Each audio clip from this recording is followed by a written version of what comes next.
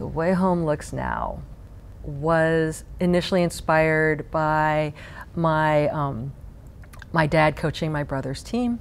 It was the early 1970s, and a girl wanted to join the team.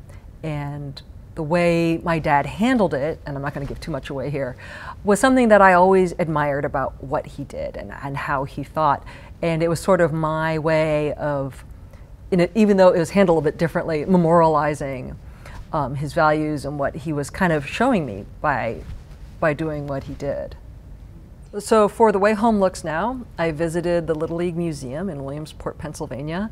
I, I, went there originally just to see the stadium and to see if it was as I'd seen it on TV, but they also have this fabulous museum where um, I saw news clippings that I've been looking for because, you know, as you know, in The Way Home Looks Now, one of the issues is girls playing baseball. And I kept looking and I'm like, I, I couldn't find the, the thing where people are like, you know, girls shouldn't play baseball because blah, blah, blah. And it was there where I actually saw things where people are saying things like, girls shouldn't play baseball because if they get hurt, then a male coach would have to touch them. Or girls shouldn't play baseball because there are no bathrooms for them. Like these were completely unsolvable problems.